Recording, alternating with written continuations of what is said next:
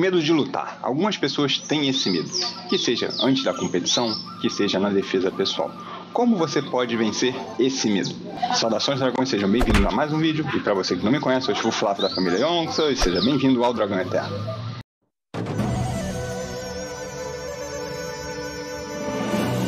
Você está lá pronto para sua competição, para sua luta, ou então tem uma situação que você precisa se defender, suas mãos ficam trêmulas, parece que você perde a força e que você esquece todo o seu treinamento.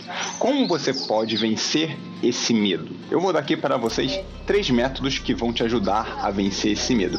E a primeira coisa é, primeiro, o treinamento da aplicação. Você repetir essa aplicação diversas vezes.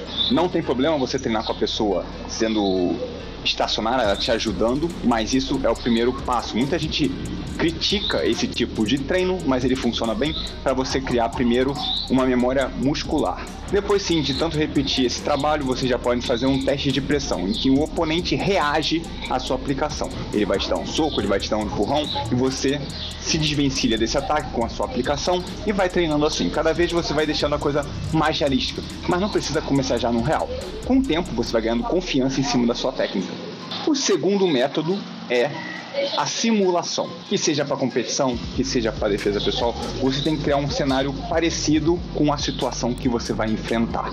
É uma competição, quatro rounds, dois minutos. Faz uma simulação com seus colegas de treino. Utiliza as mesmas regras. Testa o que você treinou nessa simulação. Porque quando chegar no dia da competição, é só você repetir o que você andou treinando. No caso de defesa pessoal, vai treinar diversos cenários que possam acontecer.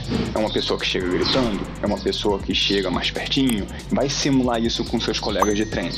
Faz a coisa o mais perto do real possível e vai repetir esse cenário diversas vezes. E isso vai treinar a sua mente para quando por acaso essa situação acontecer, você saber como lidar e seu corpo já está acostumado com aquela situação.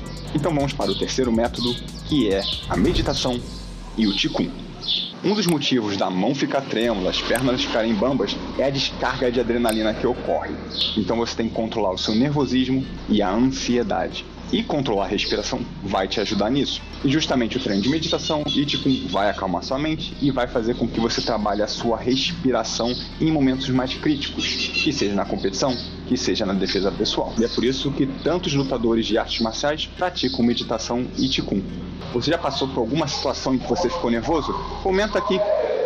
E como estamos de ano novo, nós temos uma nova promoção para o nosso Kung Fu 2023 você terá 30% de desconto no nosso treinamento Kung Fu Wing Chun. Para você que não tem uma academia por perto ou não tem tempo para treinar, ele é perfeito para você. O link vai estar na descrição e no primeiro comentário fixado.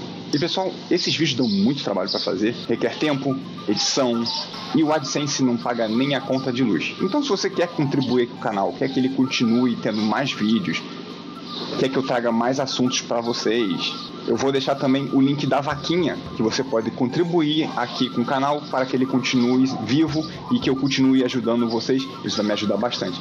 Se não vai te fazer faltar um real, cinco reais, dez reais, então vai em frente. Se não puder, pelo menos compartilhe o link que também já ajuda bastante.